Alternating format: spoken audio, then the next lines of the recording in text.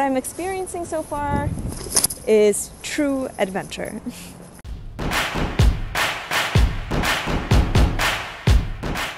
Hey guys and welcome back to another episode of Isa Abroad where I take you on my journey to England as I'm studying abroad and away from my twin unfortunately. But don't worry guys, we're still in contact because twin telepathy. If you're new to this channel, welcome. My name is Isa Wnek, aka Isa Warrior Girl, and I aspire to do the most impossible things and awaken the warrior within to truly become the best version of myself, no matter how small or innocent I look. I am an aspiring film and television actress as well as a passionate stage combatant and martial artist who just wishes to gauge herself and truly, yeah, possibly become a superhero. Well, we could say my horizons are far and the waters are still deep, but until then, I'll keep you guys updated on my journey and cool projects that I do. Nevertheless, I digress. Back to England. So I really want to update you on my journey and my first official week here. Simply put, it's very different than America. I wouldn't say that living in America or living in England is better or worse. It's just simply different because it's hard to tell. Based on just what I was used to in America,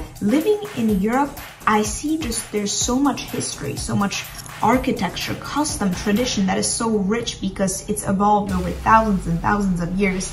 And even when you're walking around the city, you can almost like strangely feel the presence and the significance. Now, I don't want to sound weird, but it's just very interesting in my opinion because there's almost like a depth, like this other world that they're still yet to discover. And that's what I think is very interesting about my travels so far is that because I'm gonna be here for a longer duration, I could really have a true opinion about this experience, about gauging in this culture and really learning from its people. In the meantime, I would like to update you and let you know what I'm learning, how I'm evolving, how I'm engaging with this warrior within. So today in particular, I wanted to take you around Newcastle and just show you what I see on a pretty much daily basis. And what I personally find most fascinating, at least through my experiences so far in England, is that they take their culture and their old tradition, even like their ancient monuments, history that's been long there, and they embrace it in a beautiful way that can be really appreciated by the generations to come. And honestly, as a young person who's just coming into England, who's just curious and wants to look around, I feel this greater deference towards the English culture because of how it embraces its ancient ways and its roots. I could go on and on, but for me, this is just awesome. Nevertheless, why don't I just take you along? Why don't you see for yourself? and hello again, my friends. I'm right outside my accommodation, Garth Heads. If you want to take a look, oh my, I'm just captivated by how historical and almost Hogwarts-like it looks. So what I like in particular about my historical, magical accommodation, we have a mini castle of our own. A mini castle in Newcastle. How fitting.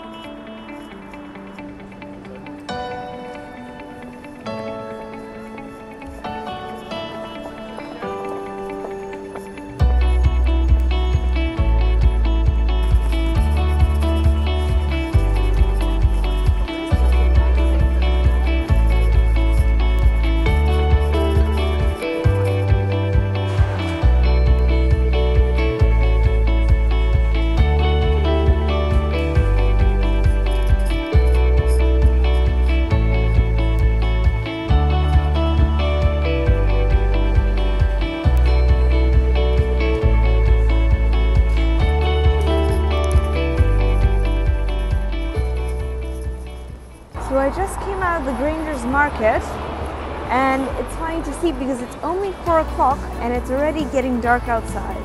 And especially during the winter in Europe, the days are very short, which is something that I'm not used to, but I will have to start getting used to.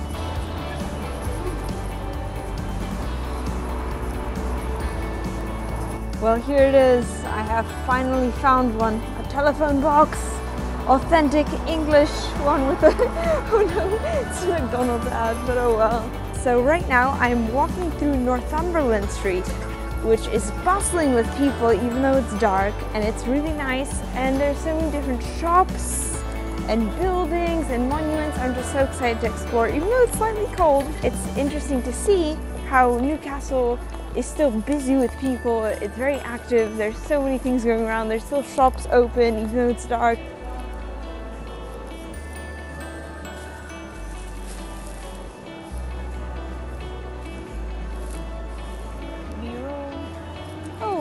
Isn't this just very fitting from New York to Newcastle? so I'm walking back now to my flat and even though it's active and bustling, it's still like dark and mysterious. Ooh dear. Oh my, it feels like any moment Sherlock Holmes is going to jump out and something exciting is going to happen. Oh, it's just there's this like deeper magic and beauty that um, you don't necessarily get in America because it's a different culture. But here it's just like the history somewhat stays. It's like, oh my, it makes you feel, makes you feel so curious, so adventurous. Oh my, what can we find over here? Oh my. It's like a dark and spooky but like magical almost tunnel.